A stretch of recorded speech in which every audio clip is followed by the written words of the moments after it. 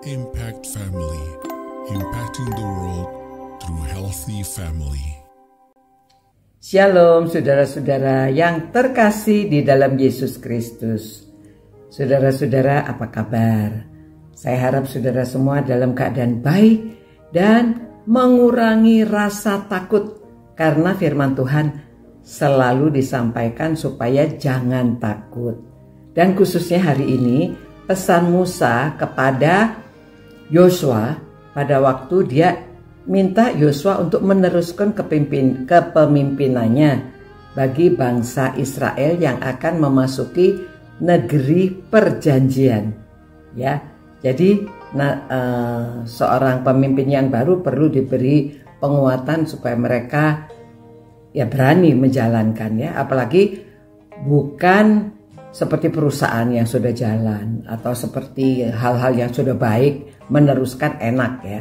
Namun ini meneruskan memimpin bangsa memasuki suatu negeri dan dia sudah berpengalaman selama mungkin bersama-sama ini sampai eh, 40 tahun melihat bagaimana bangsa itu tegar tengkuk sering mengeluh sering ya menyalahkan Musa, sering waduh banyak perkara ya. Sampai diberi sepuluh hukum pada waktu di perjalanan itu. Dan dia melihat semua ya. Oh, suka dukanya. Bagaimana? Tapi Musa memberi penguatan begini kuatkan dan teguhkan hatimu sebab engkau akan masuk bersama-sama dengan bangsa ini ke negeri yang dijanjikan Tuhan dengan sumpah kepada nenek moyang mereka. Ya, untuk diberikan kepada mereka dan engkau akan memimpin ya aduh engkau akan memimpin mereka sampai mereka memilikinya. Ya, jadi Eh, itu sebabnya dia memberi nasihat berikutnya. Sebab Tuhan dia sendiri akan berjalan di depanmu. Ya ini pengalaman Musa ya bahkan diberi tiang awan, tiang api itu kan Tuhan memimpin dan berjalan di depannya. Dia sendiri akan menyertai engkau. Jadi sering juga Musa um, tawar hati atau Musa kecewa gitu ya sama bangsa ini tapi dia merasakan bagaimana Tuhan menyertai. Tuhan selalu hadir pada waktu diperlukan ya. E, sebetulnya Tuhan selalu hadir namun mereka tidak tahu ya. Dia tidak akan membiarkan engkau ya. Dia tidak dia akan menyertai engkau dia tidak akan membiarkan engkau. Dan tidak akan meninggalkan engkau. Janganlah takut dan janganlah patah hati. Mungkin saudara biasa ya jangan takut uh, untuk memimpin, laksanakan dan jangan patah hati. Nah ini nasihatnya jangan patah hati itu karena pada waktu memimpin orang-orang ini kemungkinan dikritik, kemungkinan mereka mencemooh, kemungkinan mereka menggerutu, mengeluh. Nah itu menyebabkan orang patah hati ya. Nah patah hati itu apa saudara? Patah hati itu seperti kita ditinggalkan. Ya, ya, ya saudara yang paling tahu mungkin ya waktu pacaran ya. Kalau pacaran nggak jadi ditinggalkan kekasihnya patah hati. Patah hati itu bisa lama. Patah hati itu menggeragoti emosi.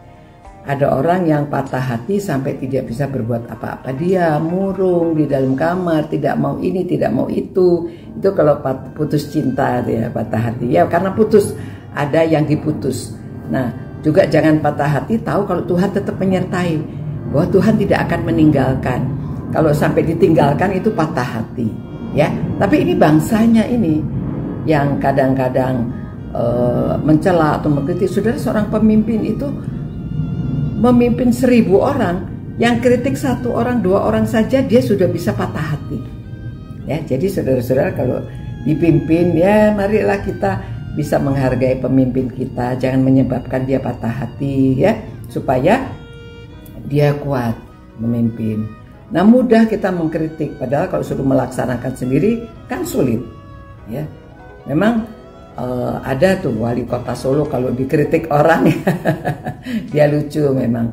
Dia balas, ya sudah apa kamu mau menggantikan saya jadi wali kota gitu. Ya. nah saudara, jadi harus cerdas secara emosional pada waktu menghadapi masalah ya kita tahu kalau sudah berpengalaman ah, Tuhan akan beserta Tuhan akan memimpin jadi kita tidak kecewa tidak patah hati karena ini Musa mempersiapkan Yosua. Karena nanti di hari depannya itu ada banyak masalah ya pada waktu dia memimpin ya.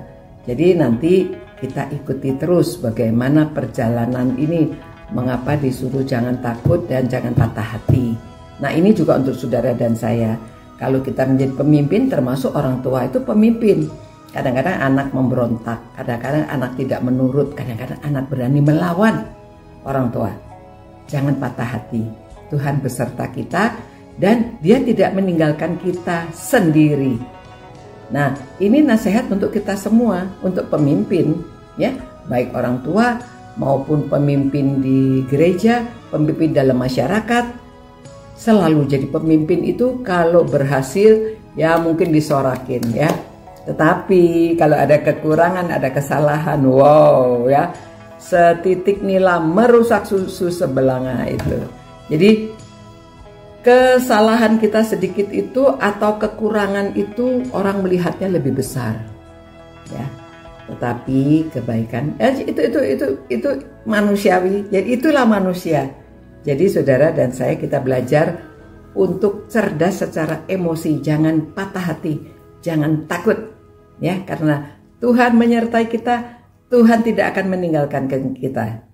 Terima kasih Tuhan atas janji-janjimu di dalam firman Tuhan supaya kami kuat dan teguh di dalam memimpin baik keluarga, maupun kelompok kecil maupun di dalam gereja pelayanan dalam masyarakat di mana saja saudara supaya kami mengetahui kalau Tuhan menyertai Tuhan tidak meninggalkan kami dan kami harus kuat dan tidak patah hati.